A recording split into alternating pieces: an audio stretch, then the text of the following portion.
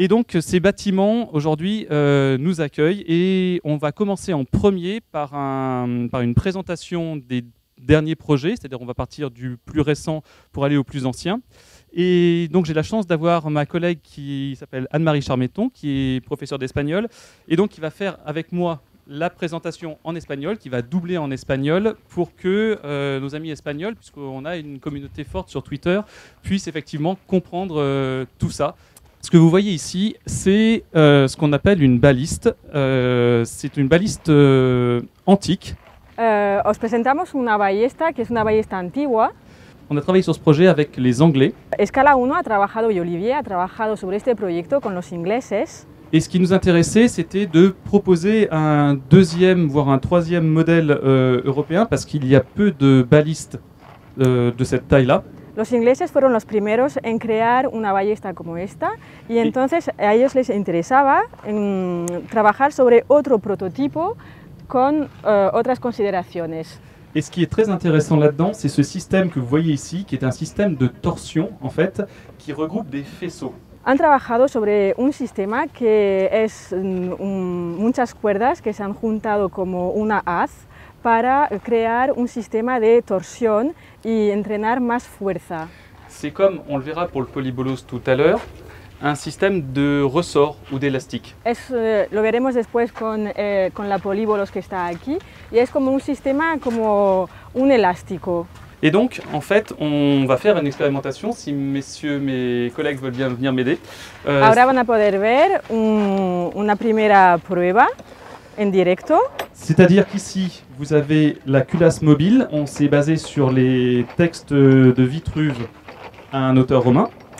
Eh, aquí tenéis la culata, que es una culata móvil que se puede desplazar y eh, este, este mecanismo ha sido pensado a partir de una fuente, que es una fuente antigua de un autor romano que se llama Vitru- Vitruvio.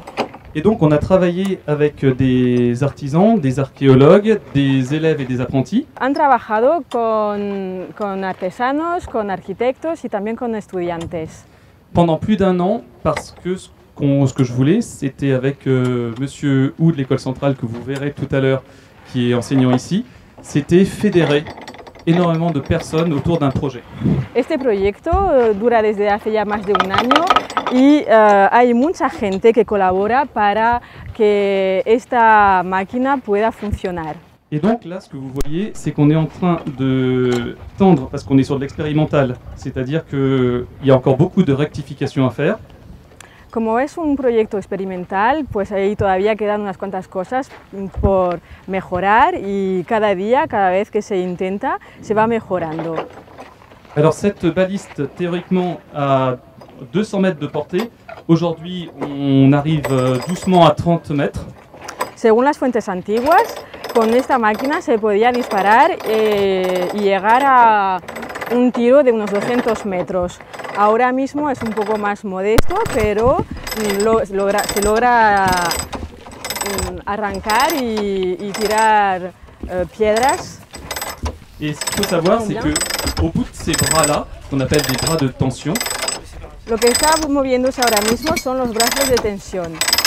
on a théoriquement toute baliste, quand elle sera tendue, 2 tonnes quasiment, ou au moins une tonne minimum au bout de chaque bras.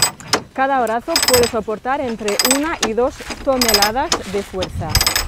Et ce que vous voyez ici, ce que j'ai dans la main, Ahora mismo tiene en su mano una bola de piedra. c'est un boulet en pierre qui a été taillé par euh, Jacques Dehaze, qui est compagnon du devoir tailleur de pierre. El artesano que, que ha modelado estas piedras es un compañón du devoir, es una particularidad francesa y en, en- cada artesano tiene, tiene su cuerpo de, de profesión representado y eh, mm, va dando clases a otros jóvenes y así va perdurando la tradición.